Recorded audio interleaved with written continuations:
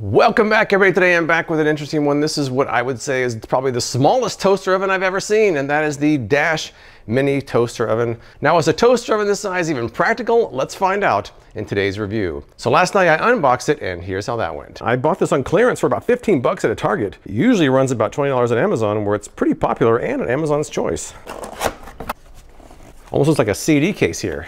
I'm assuming that's the instructions. I'll read that over. All right, here it is. And the claims that it's a mini toaster oven for bagels, toast, pizza, or even cookies. Its small size makes it more efficient than using a full-size oven. Includes a baking tray and rack. Also has a timer and auto shut-off feature. Looks like we've got some uh, some toast settings on there. Now on Amazon, a lot of people like it. Some people say the small size, say it's good for making toast or bagels, while praising the price. A lot of people use the word cute to describe it. Now the biggest complaint on Amazon I saw people talking about was the size, saying it's too small to really make more than a slice of toast or half a bagel. Some people point out there's no temperature setting, so it's easy to burn items quickly. I should also point out that most people on Amazon seem to be using this for some type of bread, so I'll probably focus on that. First of all, there's a heating element inside. They refer to it as being fragile, so you have to be really careful around that. They also say that not to make toast more than four minutes or it'll burn. They've got a couple different settings here. Basically two, three, and four minutes are light, medium, and dark. They say it's not good for meat or poultry or anything uncooked really. So mainly it's gonna be for bread, maybe warming up some leftovers, that's about it. But it's very small. Man, look at the size of my, hand looks giant next to this thing. Something kind of funny I noticed in the instructions, they have a recipe ideas here, which is kind of cool. So they've got seven recipes, but six of them are just a matter of making toast and then after it's done, putting something on top of it. So they are recipes, but most of the recipes aren't really done in the unit itself. All right, so let me start off. I'm just gonna try making some toast and see what happens. Now you can use the tray or the rack. We've got both here. I think I'm gonna try making a piece of toast on both and see how they compare.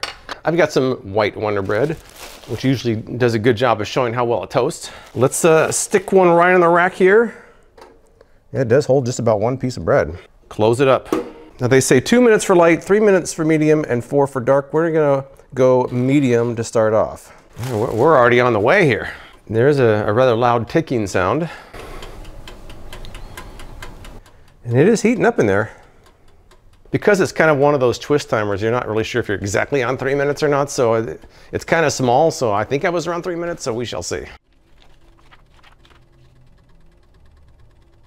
I mean, it looks like it's pretty well toasted there already. I'm not sure how much time's left. It's gotta be almost done. I mean, where it's at now looks pretty good to me. Maybe I should just stop it, because that looks pretty good. There's a little bit of smoke coming out of here.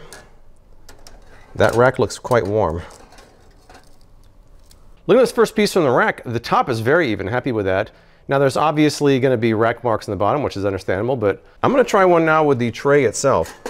Now what's interesting about the tray is they say to flip it halfway through, but elsewhere in the instructions they say don't open during the cooking process, so I'm not sure how that's gonna work. I should also point out that there's one temperature, it's 400 degrees, that's it. There's no temperature adjustment, it's 400 degrees, like it or not. I think I'm gonna use my stopwatch for a little bit more accurate timing. I'm gonna go in on the tray this time, close it up.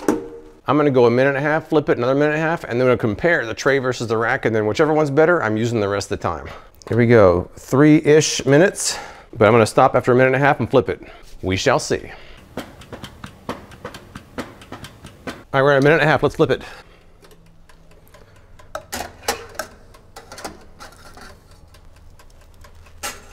Oh, look at that, the, that bottom is not done at all. Yeah, I can see a big difference on this one. I don't like having to flip it though. It's already kind of cramped in there. I have to use these tongs, kind of smash the bread a little bit. I don't really like the flipping process. I'd rather just use the rack and not have to worry about flipping it. We're at three minutes.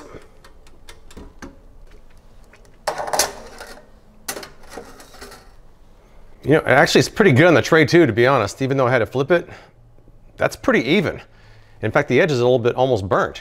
I would say after the first test, I'm pretty happy with both of them, to be honest. I don't like that though. That's from when I had to use the, uh, the tongs to flip it. But otherwise, look how beautifully even that is. On the other hand, this one, if you don't mind the wire marks, didn't have to be flipped. So I think both did pretty well, to be honest. Next up, I'm gonna try probably the second most commonly reported item made in here, which is a half a bagel. I'm gonna try it on just the rack and we'll see what happens. I think I'm gonna go right in the middle of number three once again and see how that goes. Just for kind of a second opinion on time, I'm using my stopwatch for these tests as well. So I'm going three minutes whether that timer goes off or not. Unlike the first toast test, I'm getting smoke on this one. They said it might smoke after the first use, but this is the third use. Oh, it looks like it's burning. I gotta turn this off. It's burning. Oh, Man, that didn't take long at all. I was only at two and a half minutes. It's already burning. Great. And it smells like it's burning too. Wow.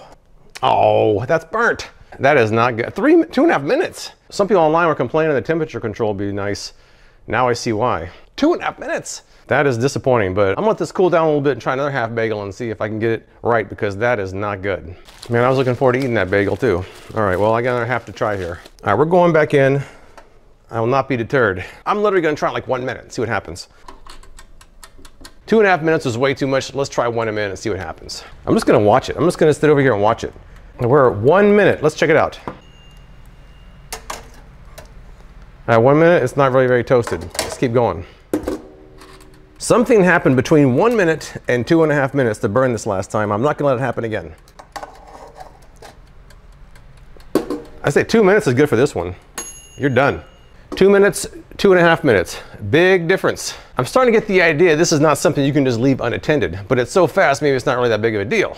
I did open the oven after one minute for this one, so that's another reason there's probably a difference. I don't know. Let's break out the, uh, the thermal imager and take a look inside and see how warm it gets in there. Getting some readings in the 500s. Go right in the element itself. Just, it goes over it. 600, it's pretty warm in there. It's, it's pretty warm. It's pretty warm. The outside's hot too. They say it gets hot and it gets hot. They say not to touch the outside of it and I can see why. I would only touch this handle and pretty much nothing else. How about something even thinner like this half of an English muffin? Throw that in there, see what happens. I'm not even gonna worry about the timer. I'm just gonna, I'm gonna crank it up, I'm gonna watch it. When it looks like it's brown, I'm gonna pull it out. But I will run my stopwatch just to see how long it takes. I Pretty much have to sit over here and watch it. I imagine this is gonna be quick, as thin as that is. All right, we're at about two minutes and I'm starting to smell something. Let's see what we got here. Interestingly, I would say it's not as done as the bagel after two minutes. That's weird. Two minutes English muffin, two minutes bagel, but this has got a little bit of smoke coming off of it. I guess from, from right here in the end. I mean, this is about where I'd like it, but it's just weird that the time of two minutes here versus two minutes here is so different. All right, so I have a pretty good idea as far as all the different bread products, how it's gonna work. I really would just watch it. I'm not even gonna trust the timer because the timer is a dial. You're not really sure if you're at 215, at 145, right at two. It's kind of hard to tell.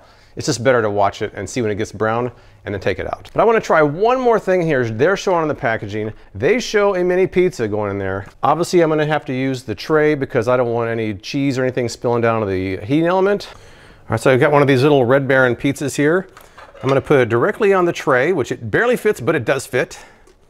It's gonna stick it right in here. Now the Red Baron instructions say 22 to 24 minutes at 375. This only goes up to 15 minutes. I'm just gonna crank it up and watch it when the cheese melts. We're gonna pull it out and see how it looks. So here we go. I'm gonna crank it all the way up. If this maxes out at 15 minutes, I can't imagine cooking anything in that heat for 15 minutes, but we shall see. I'm also curious if it's gonna cook the inside as well, or if it's just gonna burn the outside and leave the inside cold. I'm gonna keep an eye on this when the cheese starts to melt. I'm pulling out, cutting it open and see what happens. All right, we're about five and a half minutes now. The top of it looks like it's getting kind of brown. I wonder how the inside's gonna look. I mean, the cheese does seem like it's kind of melted. It doesn't look burnt yet and the cheese doesn't look real melted, so I'm gonna let it keep going. All right, at the uh, almost seven minute mark, it's getting kind of brown. I'm gonna pull it out of there. One small issue with this is it's just so cramped in there. From here to here is pretty brown. This side, not as much. Let's look at the bottom. Not so, not so brown. The problem with this is that if I keep cooking it, this is just gonna be completely burnt. All right, the unit's pretty warm. I'm gonna move it over here. Had to use my hot hands to get that out of the way. Use my Star Trek pizza cutter here. So the problem that I'm seeing with this one is you've got burnt edges on one side, not on this side. It's not real crispy on the bottom. The center is warm. I will say that at least. The center is, is warm. No cold spots. Right, so right here is dead center. It doesn't feel cold, but let me take a bite and see what happens. It, it, it's cooked. It, I'm, I'm actually surprised. Only took seven minutes as opposed to 22. So it is cooked. Hmm. All right, so as far as I can tell, the Dash Mini Toaster Oven does work. It seems especially effective on toasting bread, which that's pretty even, with or without being on the wire rack. I just think it came out uh, quite nice. Other types of breads, it was kind of all over the place, but you really have to just watch it. Because that heating element is cycling on and off, the, the amount of time almost seems to vary. It surprisingly worked for the mini pizza. I don't think that was quite as good as a full-size oven, but it was fast and it was cooked all the way through, so it did work. My only real concerns about this is that it's so hot and so fast, it's easy to burn something, so you really have to kind of watch it. I'm not even sure the timer is even really useful. It's almost just better off putting it in there and just watching it until it's done. Another thing I do like about it is that it has such a small footprint that it would really go well in very small spaces. It doesn't make a lot, but what it does do, it seems to do pretty well. But as far as I can tell, the Dash Mini Toaster Oven does work. If you've tried this or something like it, tell me what you think in the comments below. I appreciate you watching, and I'll see you next time.